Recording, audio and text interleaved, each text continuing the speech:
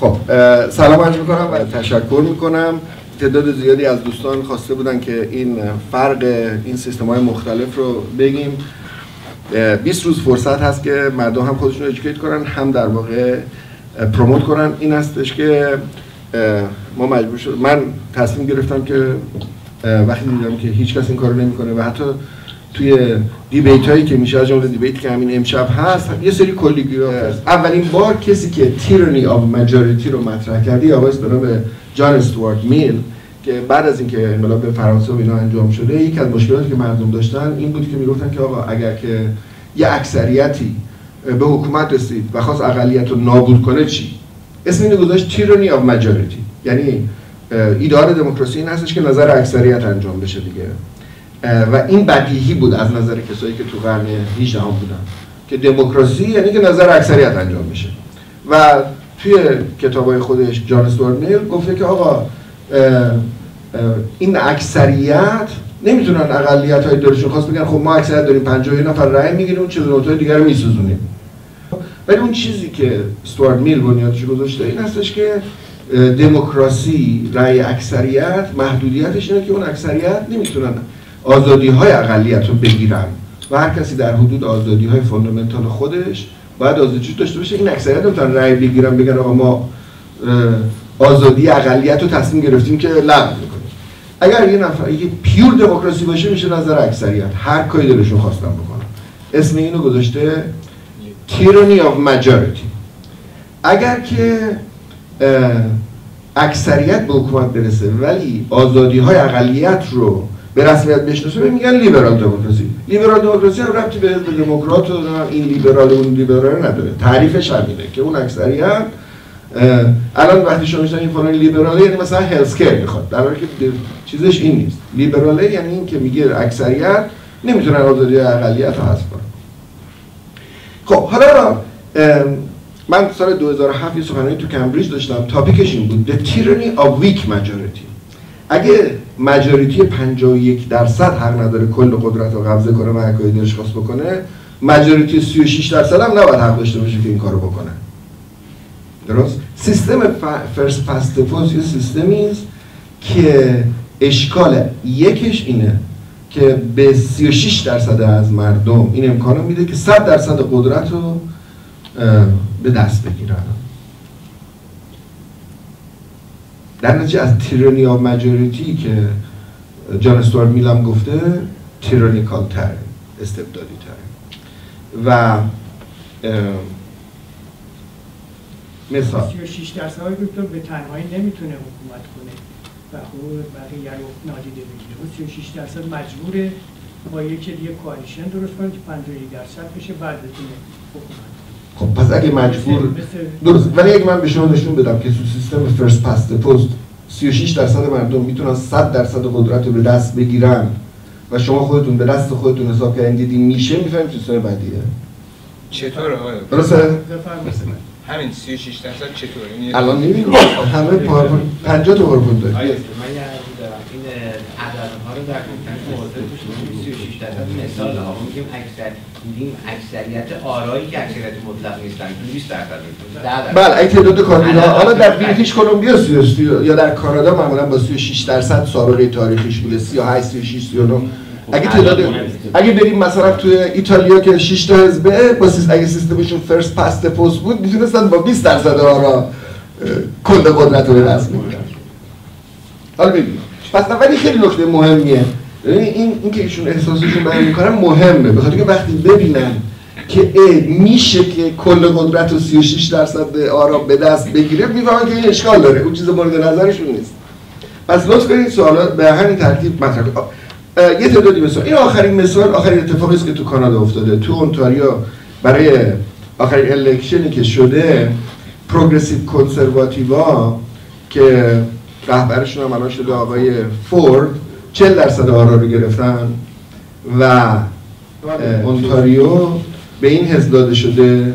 توی پارلمان 76 تا از 100 چند تا اونجا جمع بزنیم؟ 220 100 220 الان اینجا جمع می‌زنیم. 76 میشه 76 تا از 124 تا. و سیستم برای اینکه اهمیت اینو متوجه بشین مثلا توی آمریکا اگر یه کسی تو کنگره اکثریت بیاره چندان مهم نیست. چون سنا هم باید لایحه ها رو تصویب کنه. بعد آخر سر رئیس جمهور هم باید لایحه ها رو تصویب کنه. سیستم آمریکا یه سیستمی است که distribution power داره. ولی تو سیستم که در واقع سیستم انگلیسی هست در کانادا و انگلستان و چند جای دیگه اینجوریه هر کسی که رئیس پارلمان بشه رئیس قوه مجری هم میشه. یعنی الان این فردی که 76 تا 40 درصد مردم بهش رای دادن؟ 76 تا سیت از پارلمان دستشه قوه مقننه دستشه یعنی هر لایه‌ای رو که ببره تو قوه مقننه 100 درصد تصویب میشه و خودش هم مجریشه. این سیستم کاناداست اصلا کلا تو دولت فدرالش هم اینطوره تو استان اونتاریو هم اینطوره تو استان بریتیش کلمبیا هم اینطوره ولی ناقض قوانین فدرال نمی‌تونه باشه. دولت فدرال خودش قوانین که می‌تونه می‌خواد تصویب بکنه الان دولت فدرال تا حالا قانون این بوده که ماریجوانا ممنوعه. حالا اکثریت دولت فدرال لیبرالن. اکثریت مجلس لیبرالن. 51 نفرشون لیبرال است از 100 تا. درست؟ دولت لیبرال هر چی خواست می‌بره تو مجلس تصویب می‌کنه خودش هم اجرا می‌کنه. نه تو اونتاریو. تو اونتاریو هم هر چیزی که در مورد اونتاریو ضد لی... قوانین لیبرال ببره. خب اصلا دوم jurisdiction شون نیست. اون چیزی که jurisdiction حکومت government local هست هر کاری دلشون بخواد می‌تونن بکنن. اگر بخوان کاری بکنن که در حوزه دولت فدرالی که خب هیچ کاری ها ندارن کاری بکنن که با دولت فدرال متناقض باشه. حوزه تصمیم گیری دولت local اون چیزی که هست کسی که 51 درصد دولت رو داشته باشه در مجلس در قوه مجری و مقننه داره. این یکی از چیزایی است که مردم چه اونایی که تو آمریکا زندگی کردن چه تو ایران زندگی کردن این رو ندیدن. اینجا یه سیستم خاصیه. سیستم تفکیک قوا نیست. آقای دکتر گویا در مورد کربن تکس همین آقای فورد قوانین فدرال رو نقض کرد. خب دعوا میشه. ولی نه کلا ایشون در اون چیزی که مجازه و بدون دعوا طبق قانون بی دردسر می‌تونه انجام بده که هر کاری که دلش خواست بکنه می‌بره مجلس. اعضای حزبش 76 تا رأی سیت دارن اکثریت مطلق دارن رأی می‌گیرن همه بچه های حزب دستشون بالا می‌برن بعد میگن که تصمیم شد برای خودش انجامش میده. در همه کشورها اینجوری نیست.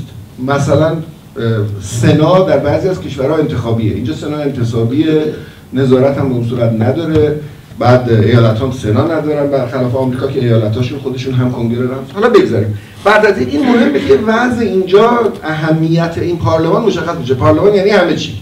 هر کی رئیس پارلمان شد با این وضع 40 درصد آرا 76 تا 30 تا گرفت یعنی همه قدرت دستشه البته در جواب به ایشون با اینکه دولت با اینکه دولت فدرال در حقیقت مخالف این بود بازم به یعنی کار خودش رو کرد آقای فورد. در حقیقت بله. کاربون تاکس رو رد کرد. بله. در حال حرفش به چیز کشید. بله.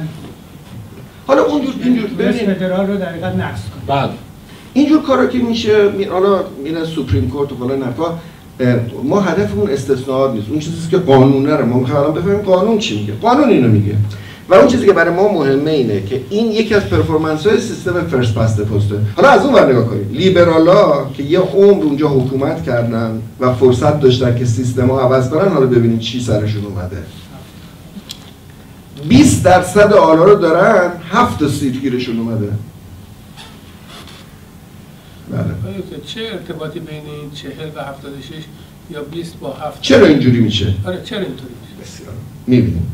با مثال های بسیار عالی. می‌بینیم که می‌تونه حتی 100 درصدش بالا اونا باشه. می‌تونن با 40 درصد آرا 100 درصد سیتا رو داشته باشن. الان شانس آوردیم. الان این در واقع به صورت گرافیک نشون میده غیر از از کانادا دیگه کجاست این سیستم؟ انگلستان. ولی خب تو انگلستان هم مثلا شهرداری لندن سویت شده اسکاتلند سویت شده اتفاقا همین امروز صبح CBC با نماینده های مجلس اسکاتلند صحبت می‌کرد گفتش که اینجا به ما میگن که آقا اگر که این کارو بکنین تروریستا میان تو مجلس میشینن. فلان حرفا. گفت ما 20 سال این کار کردیم تروریست تو مجلس ننشسته. علتش هم می‌بینیم. به خاطر اینکه یه quota وجود داره همون ماجرای 20 درصد که اگر یک کسی یک حزبی یا گروهی یا فرد independent ی رأیش از یه حدی کمتر باشه تو مجلس نمیره. حتی تو سیستم proportional. اینطور نیستش که یه نفر که 5 تا فامیلاش بهش رأی بره تو مجلس بشینه. علتش هم الان دو دقیقه دو تا چهار تا متوجه میشیم 100 تا seat وجود داره. پس یه نفری که می‌خواد اونجا بره حداقل باید یه درصد مردم بهش رای بدن. حداقل. بعد سیستم ها معمولا اینطوری هستش که threshold ی دارن. 5 درصد اگه بهش رای ندن مثلا توی جامعه که 30 میلیون نفره یه میلیون نفر بهش رای ندن اصلا طرف نمی‌تونه مطرح بشه که از اون ترشولد رد شه که بره تو مجلس.